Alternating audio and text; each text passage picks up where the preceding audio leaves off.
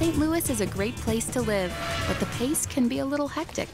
Relax. Welcome to your wild backyard, the Missouri Department of Conservation's Powder Valley Nature Center.